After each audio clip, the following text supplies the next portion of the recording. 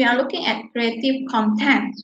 Creative content is about how to uh, do a lot of uh, uh, design for a good advertisement or a good product promotion. So first we are looking at the creative photography. So when we take photograph, always remember the image that you are using or you're taking must be something that unique and original. Original means your own product, uh, your own photo. The photo that you take uh, is your own photo using your own camera to take. Don't take the photos from either network or website in to put into your advertisement. All right, the photo must be original and unique that you take yourself. And the picture must have certain clear message to tell you what is uh, all about. And it must be beautiful and elegant and with some story or storyline or storyteller. For example, you can look at this. Uh, the concept uh, is selling camera. So you have some story about this. Camera is used to take photo of uh, birds, for example. You understand the story. And then um, you might take photos because you want to show the, the expression of the environment and so on. So it depends on your story, then you have to decide how to take the photo. But always bear in mind, you have to look at things like background. What are the background? You can blur the background if necessary. Look at the prop. That means you have to prepare the things to make the photo beautiful and nice.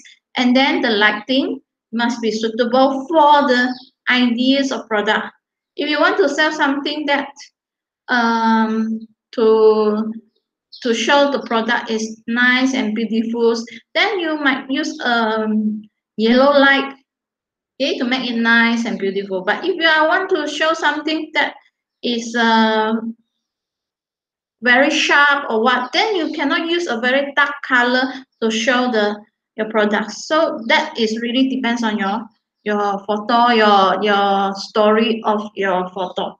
And then the rule of the third composition means that almost 30% of 45 um, 60 70% of the photo must be must be the the things that you want to show okay more than 30% so when you look at this okay the background of the photo then you see. If the background is so dark and my product is so dark i hardly see what is inside the photo same thing if your product is so is in a white color and the background is in white then i also hardly see what product is it in uh, at the back. And then when you look at this is nice but what is the focus of the photo? Is it this cup or the macaroni here?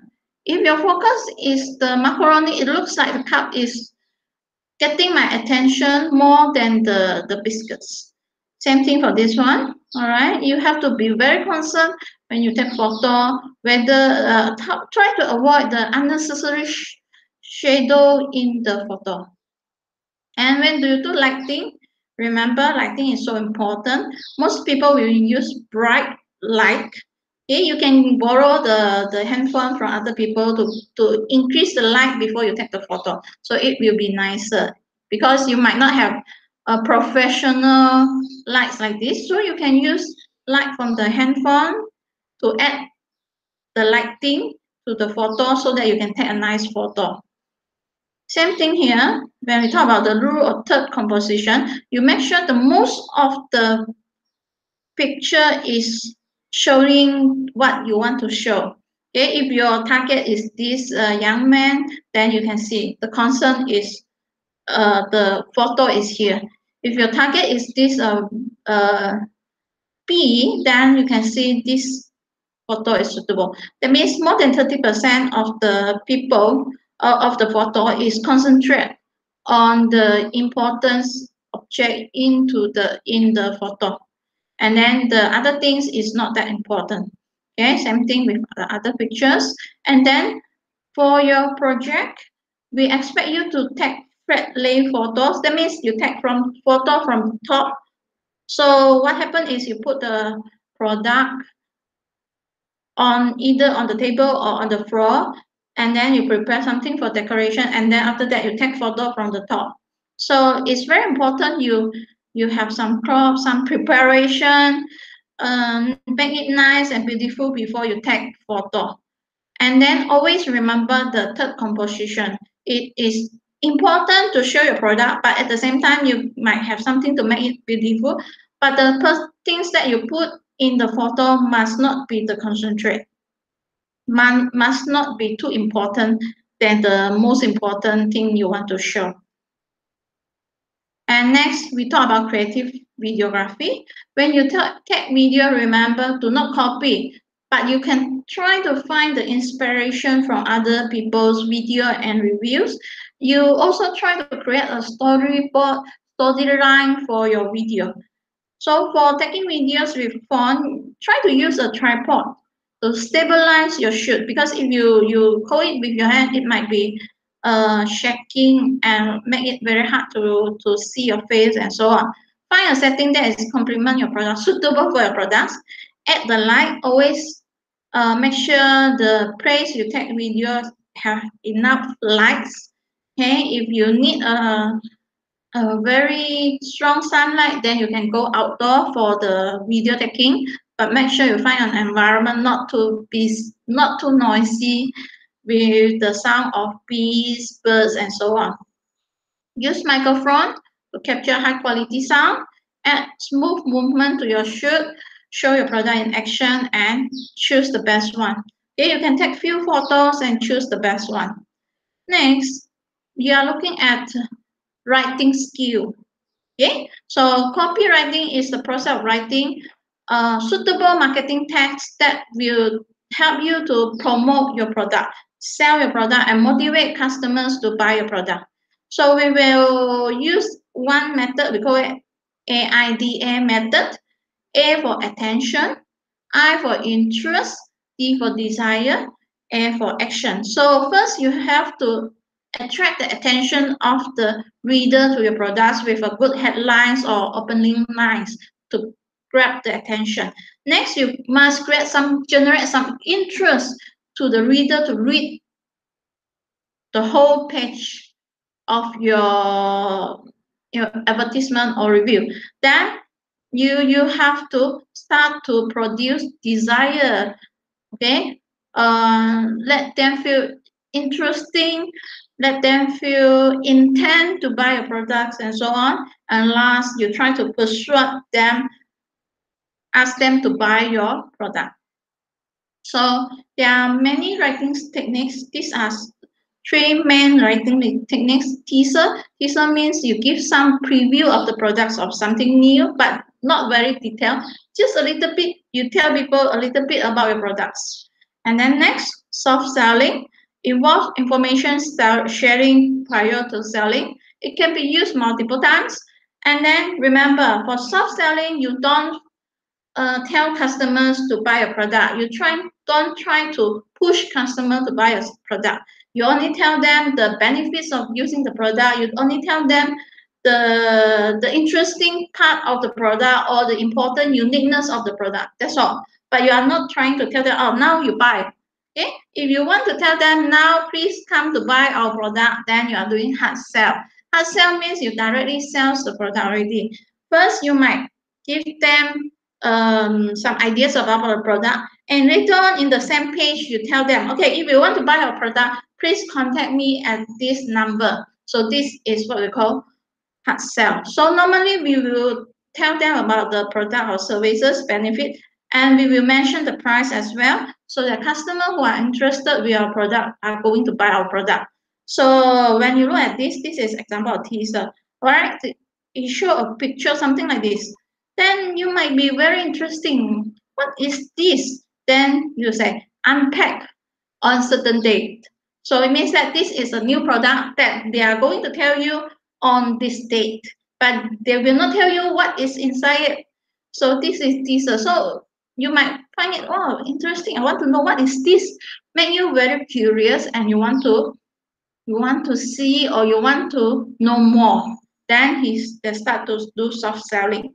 So soft selling, uh, you must have uh, you better to to have title, so intro, and some content about something uh, customer might want to know. If you are selling skincare product, then you have you can say share some tips to to clean the skin, some tips to do makeup and so on. So the content very important. And then you might ask them to like your product. That's all. You don't expect them to buy your product at this point. But for hard selling, uh, you need them to buy a product. This is one example of soft selling things. Okay. Jumlah tabungan travel setahun jika sehari. Then you give them some tips. Okay. So if you can save five ringgit a day for a year, then you have this amount of money. With this amount of money, then you can go travel to many places. So this is one way of uh, soft selling. And people might be more interested to look at soft selling than hard selling at certain time. Okay, another one. Nama pertama yang keluar apabila Anda, okay, type on, okay, kena belanja.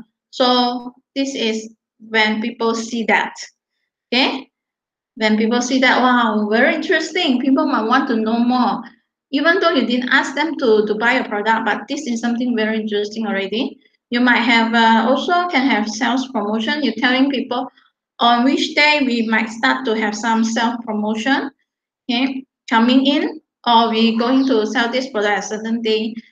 Okay, you can see this. Okay, all right. Then soft sell they have three ways of doing it. One is to tell a story. One way, another way is to give them some tips of doing things. All right, and next we are going to look at hard selling, hard sell. So hard sell, remember, hard sell included call them to do something to buy the things. Okay, so same thing with soft sell, you must have something title to attract the customer attention, to give them description, and then give them something that uh, make them intend to buy a product. They want to buy a product, then you give them the link. You might give them the voucher to attract them or remind them, oh, you have two days to buy this. After these two days, you cannot buy at this price, for example. So this is one way to attract people to buy a product within a certain period.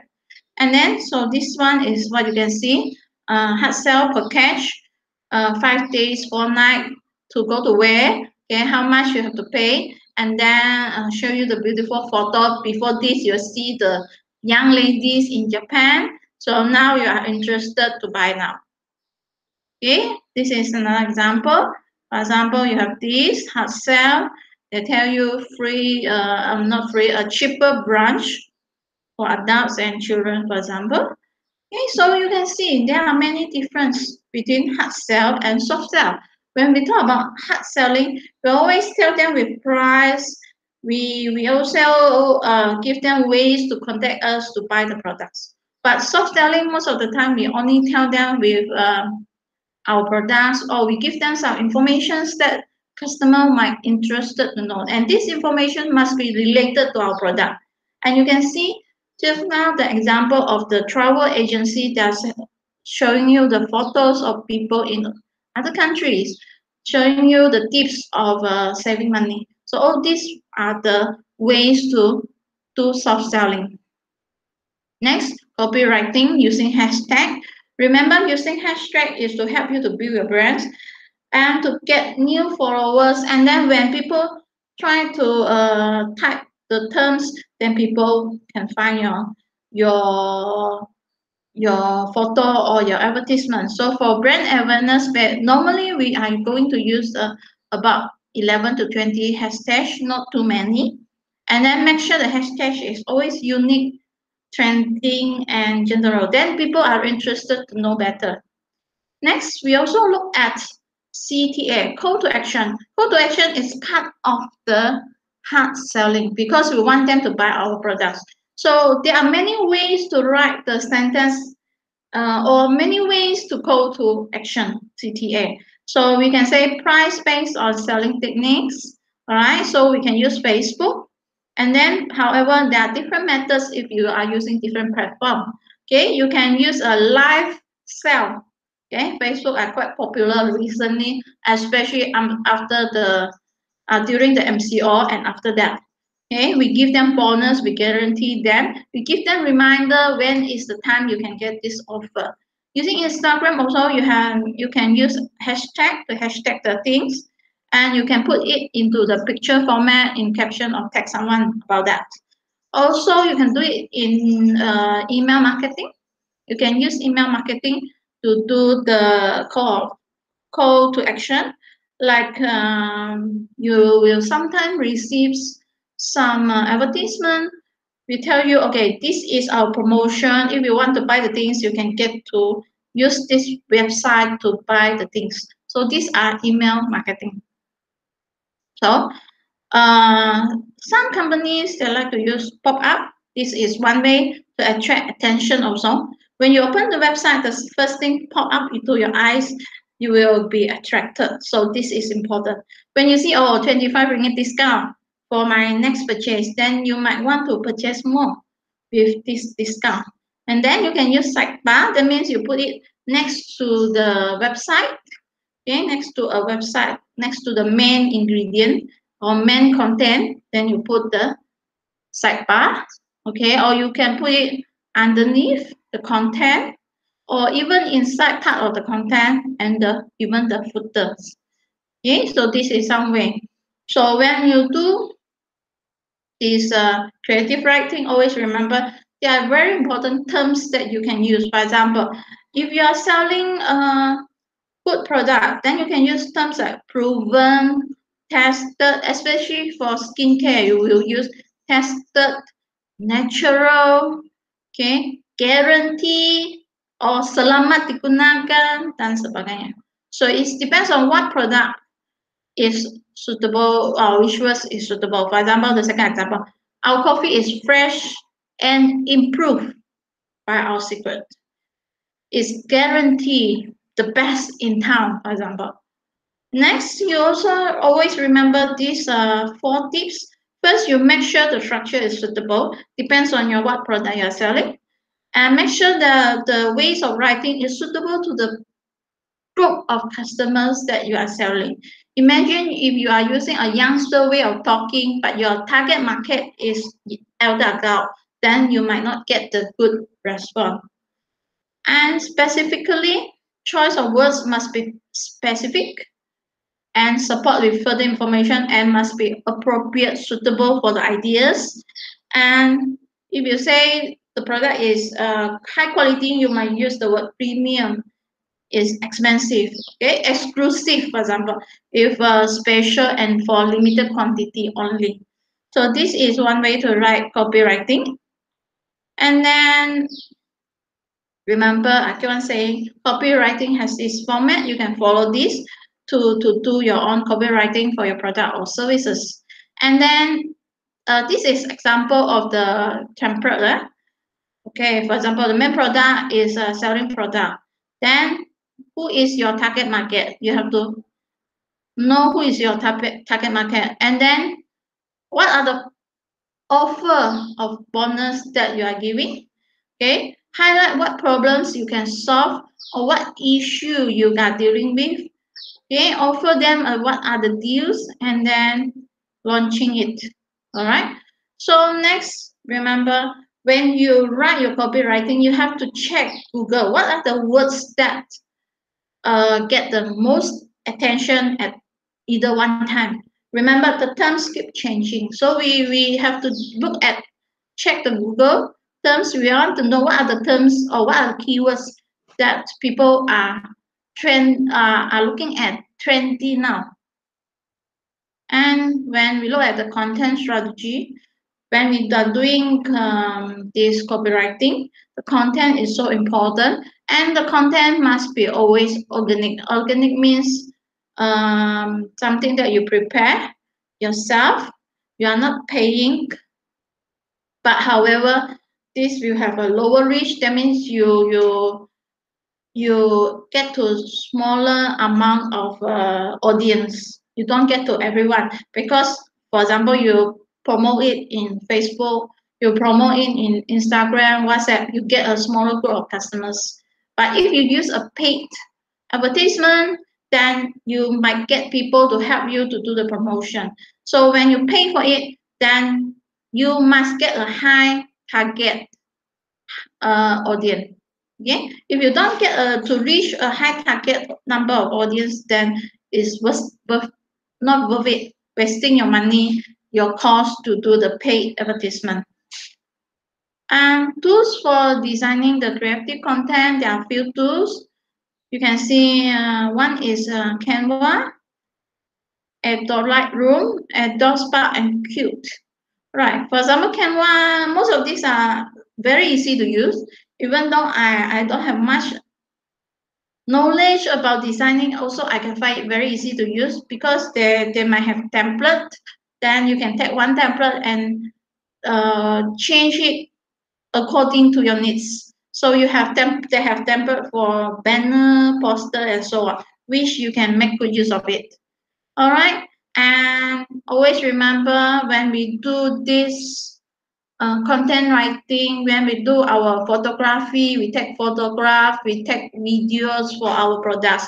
You always remember about the creative licensing.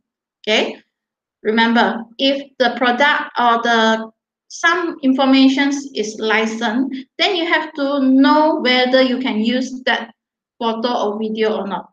If you purchase a content, you purchase a content from somebody who design it or prepare it, then you need to pay for that. Okay, you need to purchase it. And then this allow you to use that content. But if you are not willing to pay for that, then you can use something that is open license. That means they allow you to use it but with the condition, uh, sometimes it's not for commercial purposes. Some informations you can use, but not for commercial. So we'll be very careful when you want to use open sources information. When they're open, meaning that they're open for use to use, like for education, for example, for your own good, for learning, for example, yes, you can use it. But if you use for open uh, use for commercial purposes, they might not allow it.